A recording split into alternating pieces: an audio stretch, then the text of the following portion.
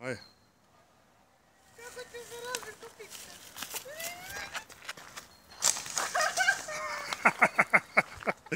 E, možeš. Ajde. Ajde sad natrag. Ne mogu, malo je sad. A di ćeš? on? Ajde tu. Ajde ovdje preskoči. Moraš i natrag. Oh. Evo tu, tu ti je staza. Tu vidi, ej. Ante. Tu ti je staza, gledaj. Tu se zaleti, ajde.